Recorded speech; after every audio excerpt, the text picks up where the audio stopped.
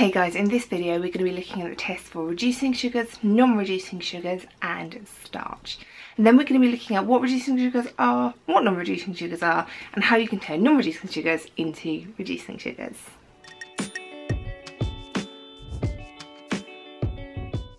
We can use the Benedict's test to test for reducing sugars. Reducing sugars are all monosaccharides and some, but not all, disaccharides. The name reducing comes from the fact that reducing sugars can reduce something else in a reduction reaction. This is a little bit of a crossover with chemistry. If we think back to our oil rig, we don't need to worry about the oil, but reduction is a gain of electrons. A reducing sugar can give electrons away. So in this test, in this reaction, the sugars can give electrons away to the Benedict's reagent, thus changing the colour of it. Here I'm going to show you the reaction in the lab. We have our Benedict's reagent, solution A and solution B. We need to mix a little bit of this. Now 2 centimetres cubed is a sensible amount, but if you have a pipette full, just a big squirt of the pipettes, and the two solutions need to be mixed together. You can see it has the brilliant blue colour there, and that comes from the copper sulfate. We need to add our Benedict solution to our sugar solution, equal volumes of sugar solution and Benedict solution. Once they are mixed together, we can heat them. Now, this does take quite a long time to heat. It does need to be quite a vigorous heat, and you need to be able to do this safely in a lab. But already you can see the colour change going on there as it goes from blue through green, yellow, and then to a dark kind of brick red colour. And this colour, this brick red colour, is a positive result for reducing sugars.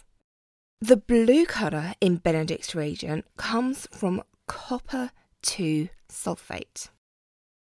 The copper 2 plus ions will gain electrons and be reduced to copper 1 ions. We will end up with a brick red precipitate of copper 1 ions and this is our positive result for a reducing sugar in the Benedict's test, going from blue to brick red cloudy with a precipitate.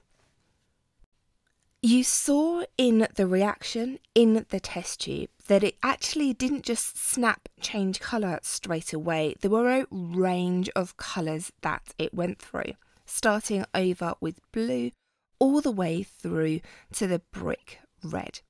And the colours of the result change with the concentration of the reducing sugars. Blue, no colour change, is a negative result, and our positive result is all the way over at brick red, but everything in between is also a positive result. If we have a low concentration of reducing sugars, then we are just going to get a green colour or a yellow colour moving all the way through to orange and red with our high concentration of reducing sugars. Looking at the colours like this and deciding the result purely based on colours is a qualitative test. We can say yes or no, yes, this is positive, but we cannot actually give a value to this. There will be a quantitative test.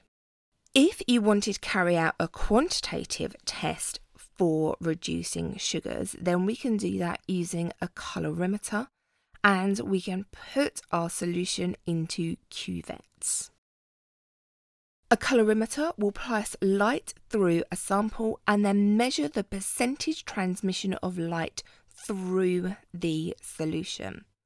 Once we have that percentage transmission, how much light of a certain wavelength is actually allowed to get through, then we can compare that result to our reference sample, our calibration curve, a graph that maybe you made earlier or a graph that might be provided for you. We can take our result for percentage transmission and read it off the graph, and from that, we can work out an actual quantitative value for the concentration of glucose in the sample. Sucrose is a disaccharide and it is a non reducing sugar. That means at the moment, sucrose will not give a positive test using the Benedict's reagent. It will stay blue. We will not see that brick red precipitate happening. If we broke the bond in the middle there, highlighted in blue, then we could break it down to monosaccharides again. To do this, it needs to be treated first with hydrochloric acid to break the glycosidic bond, and the hydrolysis reaction will break it down back into monosaccharides. That is a monosaccharide of glucose and a monosaccharide of fructose. Glucose and fructose are monosaccharides, both of which are reducing sugars. And these two reducing sugars will give a positive test with the Benedict's reagent. Starch is a polysaccharide, and we can use iodine to test for the presence of starch.